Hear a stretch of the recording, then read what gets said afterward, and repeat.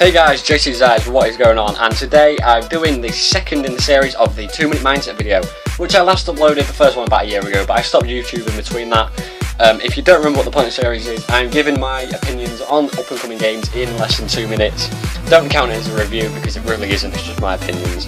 So this time it's Black Ops 3, last time it was Advanced Warfare. It's not just going to be a CoD thing, it's going to be any game, it just so happens that Black Ops 3 was the first game I, I've decided to do when I come back to YouTube. So let's not waste any more time and get straight into it. So Black Ops 3 looks, from this trailer, which I have seen before, but Black Ops 3 looks very, very good. It, it's like somebody took Advanced Warfare, or it's like obviously not somebody, but Treyarch took Advanced Warfare and made it what it should have been. Um, now I'm not saying I hate Advanced Warfare because I don't. I do like Advanced Warfare and I do play it a lot.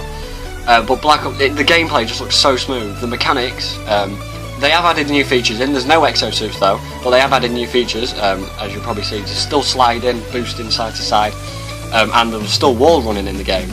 Um, it looks very, very smooth, the gameplay. The graphics look amazing because they're on current gen consoles now, which obviously is Xbox One and whatnot.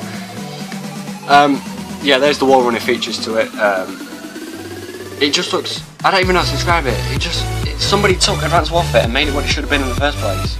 Again, I don't hate Advanced Warfare, but the exosuits were a bit odd. At times they're good, at times they're not, and I think with Black Ops 3, it's, it's nice and balanced with, yeah, you can wall run, but you can't just like piss off into space when somebody starts shooting you. That's the one thing that really annoyed me about Advanced Warfare. You'd be in the middle of shooting somebody, you know, they were taking hit markers, boom, off in space, you know, fucking NASA's ringing them up, go back down! Uh, it, it just wasn't fun. It, it wasn't fun at all, but there was times obviously when that worked in your favour, and I'm not complaining. I like the game.